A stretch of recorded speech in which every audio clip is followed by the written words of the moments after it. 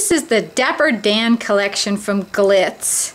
We have the bits and pieces, which are the 4x6 and the 3x5 pieces, just be cool for all the men in your lives.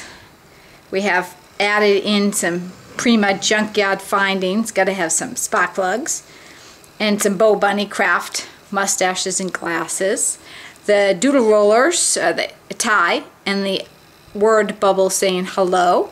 We have the cool green washi tape. We have some Prima wood pieces, which are just totally awesome. Some markers to match the collection. And then we have the whatnots. I don't know. Seems like you should buy this collection just for this mustache. That is so cute. Or I shouldn't say cute, should I? And then we have some Kaisercraft pieces that went with the collection.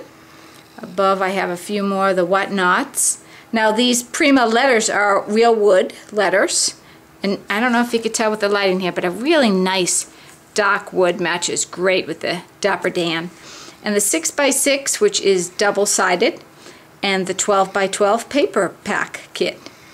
Dapper Dan.